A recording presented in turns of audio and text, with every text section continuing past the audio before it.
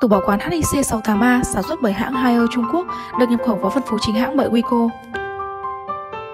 Tủ có thiết kế kiểu đứng, kiểu cửa kính, cho phép người dùng dễ dàng quan sát mẫu. HIC 68A sử dụng hệ thống làm lạnh bằng khí cưỡng bức với hệ thống phân bố dòng khí tối ưu để đạt được độ đồng đều và độ ổn định nhiệt cao nhất. Tủ được trang bị khóa an toàn chắc chắn, đảm bảo người không phận sự không thể mở được.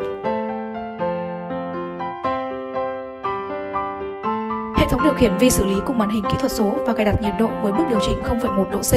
Ngoài ra, tủ còn được trang bị khe cắm USB giúp người dùng dễ dàng trích xuất dữ liệu. HDC 68A hiện đang có sẵn tại văn phòng Wico Hà Nội và thành phố Hồ Chí Minh bảo hành 12 tháng. Đến với Wico ngay để trải nghiệm sản phẩm nhé.